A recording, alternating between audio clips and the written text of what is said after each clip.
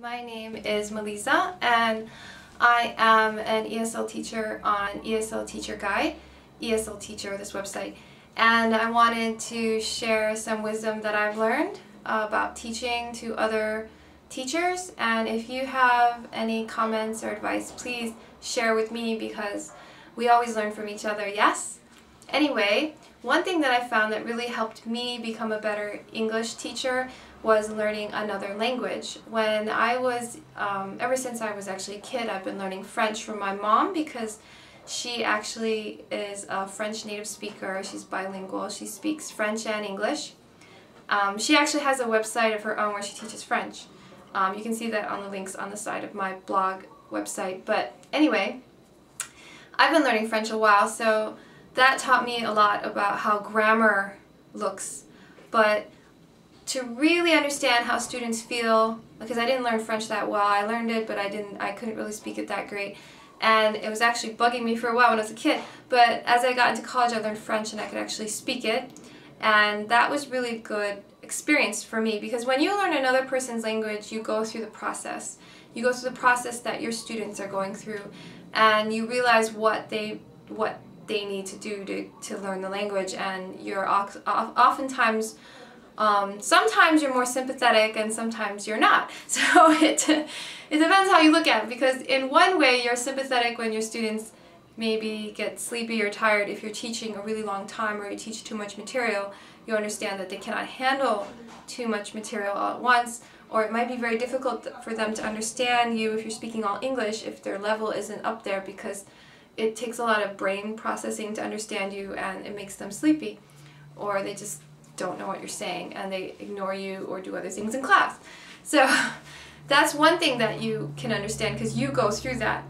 Another thing that you might understand is that you have to have a very strict regimen and you do have to give them vocabulary and practice time and give them time to practice speaking and listening and give them lots of input so that they can actually master the material. And if you're in a language class and you're too easy and you just kind of give them words, take a test, but you don't actually check and see if they understand the word when they hear it or they can speak it or you don't use it after you teach it you don't use it in the classroom.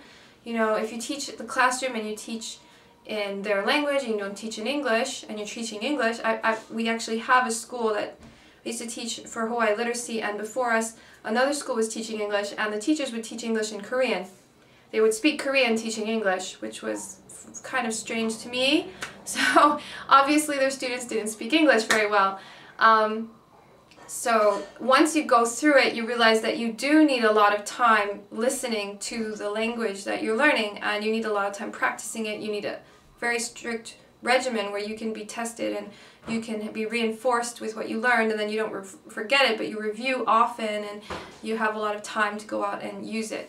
So on the one hand you become more lenient, on the other hand you become more uh, disciplined.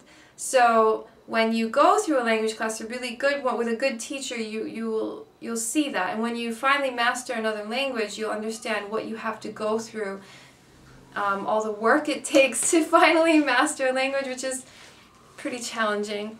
So I recommend if you are an ESL teacher and you haven't done so already to learn a foreign language, especially if you're living in a foreign country right now and you're teaching English in that foreign country, learn their language. Take language classes. Usually the school will pay for them for you, um, or you can get students to teach you, or you can find a tutor.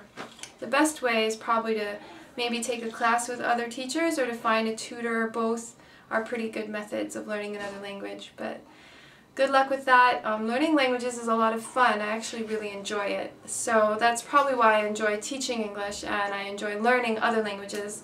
I actually speak Chinese and I used to speak French. I can understand it and if I try, probably can speak it again. But it's a lot of fun and I hope to learn more languages too and I'm interested in learning about you and what languages you know or want to learn or if you have any advice on this.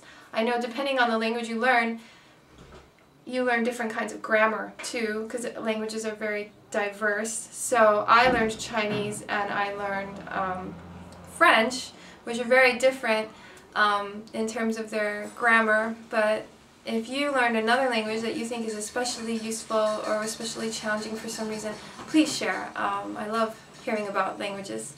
Thank you very much for visiting ESL Teacher and I wish you the best. Uh, thank you very much. Keep practicing your English. Have an